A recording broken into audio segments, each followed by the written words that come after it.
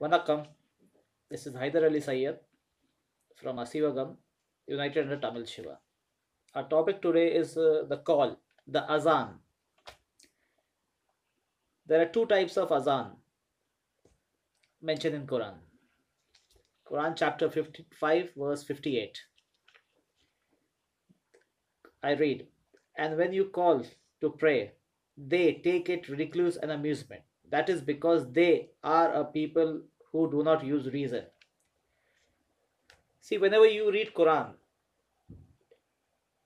the word they and you are talking about two different people. They refers to the Aryan settlers, the heedless people, and you refers to the Tamil black nation and a Semitic black race, from where we have a state royal genealogy and a family of Ibrahim.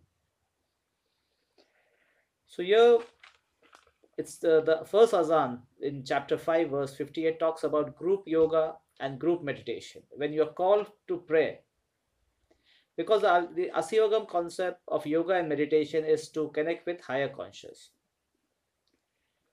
and regarding short namaz based on Burak Hadith, which is written by Persian Aryan Bukhari, it falls under the category of fake and it goes against Quran. So the short namaz has never happened, and uh, people people performing short namaz is like making mockery of Prophet Muhammad and a archangel Gabriel. And the second type of azan mentioned in Quran uh, in chapter 62 verse 9 I read the second azan mentioned in chapter 62 verse 9 of Quran refers to the Asivagam Koil system, a call for Jummah. It's nothing but a call for for uh, Koils get together at Koil. Koil refers to house of a king, a parliament. Remember, in Asivagam's concept, the right to administrator is with uh, along with common with the elites is with the common people. Koil means a parliament, a get together place for common people to take part in active administration. And Jumma is nothing but a reminder of that Asivagam system of Koil, where a common people stands behind its uh, elected uh, Khalifa or minister and gets his problem solved as per the law of equality. So, standing behind a pujari with that fake small fake namaz based on Burak Hadith is nothing but making a mockery of Jumma, the Koil system, the Asivagam system, the Allah system, system. I read chapter 62, verse 9. O you who believe, when a call for a prayer on the day of Jummah, then proceed to the remembrance of Allah and leave trade. That is better for you if you only knew.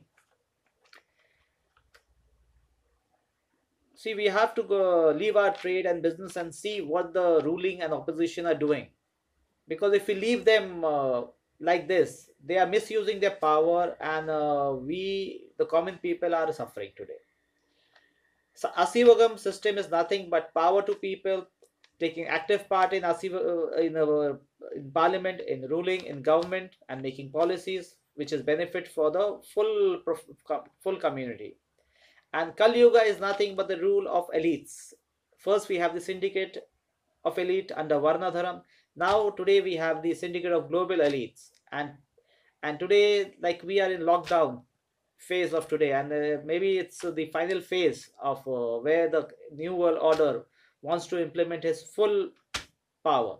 So, a common people has to decide whether he has to surrender to new world order fully or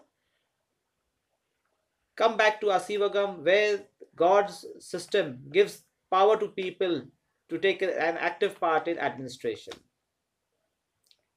Share, thank you. Share this video, like and subscribe and and we will be posting many more videos on exposing the Kali Yuga system. And remember one thing that uh, Kali Yuga system is being uh, run by the Muslim world, and Muslim world are nothing but uh, by DNA they are Aryan settlers, hiding behind Muslim label, and people who are calling themselves Muslim, they are in fact protectors of uh, Antichrist or Kali Yuga.